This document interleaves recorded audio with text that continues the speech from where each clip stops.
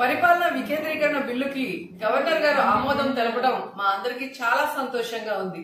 ఎందుకంటే ఎన్నో ఏళ్ళుగా ఉత్తరాంధ్ర రాయలసీమ వెనుకబడి ప్రజలందరూ కూడా చాలా కష్టాల్లో ఉన్నారు. ఈరోజు మూడు ప్రాంతాలు కూడా అభివృద్ధి చేయాలని ఒక మంచి ఉద్దేశంతో జగన్మోహన్ రెడ్డి గారు మరి రాజధానిని వికేంద్రీకరిస్తేనే అభివృద్ధి వికేంద్రీకరణ జరుగుతుంది అని చెప్పి ఆయన నమ్మారు.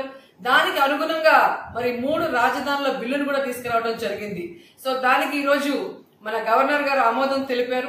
అమరావతిలో శాసన రాజధాని ఉత్తరాంధ్రలో చూస్తే కార్యనిర్వాహక రాజధాని అలాగే రాయలసీమకి న్యాయ రాజధానిని ఇవ్వడం జరిగింది. రాయలసీమ ప్రజల కళ ఈ న్యాయ రాజధాని. ఈరోజు మేము ఎంత హ్యాపీగా ఉన్నామో సో ఉత్తరాంధ్ర వాళ్ళు అలాగే అమరావతిలో ఉన్న వాళ్ళు కూడా అంతే సంతోషంగా ఉన్నారు. ఎందుకంటే గతంలో మనం చూసాం అధికారాన్ని ఒకే చోట వికేంద్రీకరించి అభివృద్ధిని ఒకే చోట పెట్టడం వల్ల హైదరాబాద్లో రాష్ట్రం రెండు ముక్కల ఈ రోజు మనం అందరం కూడా అష్ట కష్టాలు పడుతున్నాం.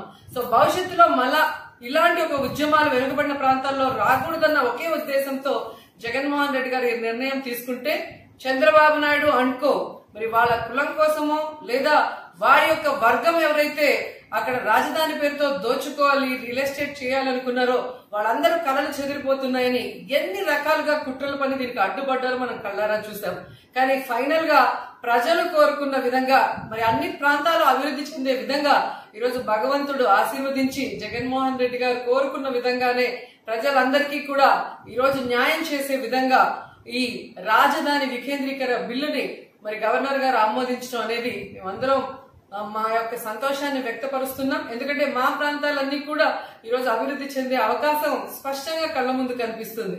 ఈ రాష్ట్రంలో అందరూ సంతోషంగా ఉన్నారు కానీ నాకు తెలిసి చంద్రబాబు నాయుడు లోకేష్ అనుకో మాత్రం ఏడుస్తూ ఉంటారు. ఎందుకంటే వాళ్ళు ఎలాగైనా లక్ష కోట్లని అక్కడే ఖర్చు పెట్టించి వారి భూములు బినామీలతో ఉన్న భూములన్నీ కూడా రేట్లు పెంచుకొని రియల్ ఎస్టేట్ చేయాలనుకుంటున్నారు తప్ప అక్కడున్న రైతులకు న్యాయం చేయాలనో లేదా ఇతర ప్రాంతాల్లో ఉన్న ప్రజలకి న్యాయం చేయాలన్న ఆలోచన వాళ్ళకి లేదు. ఈ రోజు కూడా మేము క్లియర్ కట్గా చెప్తున్నాం రాజధానిలో రైతులకు మాత్రం ఎటువంటి నష్టం కలిగే పరిస్థితి ఉండదు. ఎందుకంటే గతంలో ఏదైతే కౌలు ఇచ్చేది టైం ఉందో దానిని ఎక్స్టెండ్ చేయడం జరిగింది ఇచ్చే కౌల్ని కూడా రెట్టింపు చేయడం జరిగింది. అండ్ అక్కడ ఏవైతే భూముల్ని కేటాయించారో విద్యా సంస్థలకి యథాతథంగా అన్నీ కూడా అక్కడికి వచ్చే అవకాశం ఉన్నాయి. కాబట్టి రైతులకి నష్టం జరగకుండా రైతులు ఏది కోరినా కూడా గతంలో వాళ్ళకి ప్రామిస్ చేసినవి జగన్మోహన్ రెడ్డి గారు ఫుల్ఫిల్ చేస్తారు. కానీ అవినీతి డబ్బుతో అక్కడ భూములు కొనుక్కుని రియల్ ఎస్టేట్ వ్యాపారం చేయాలనుకున్న తెలుగుదేశం పార్టీ వాళ్ళకి మాత్రం ఇది పెద్ద చెంపపెట్టు గవర్నర్ గారి ఆమోదం అనేది స్పష్టంగా అర్థమవుతుంది.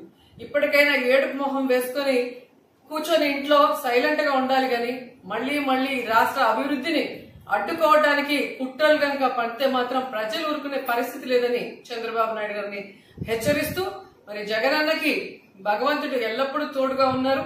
అలాగే ఇప్పుడు కూడా మూడు ప్రాంతాల్ని అభివృద్ధి చేసే విధంగా జగన్ గారికి అండగా ఉండాలి ఆయన ఆశీర్వదించాలని మనస్ఫూర్తిగా కోరుకుంటున్నాను.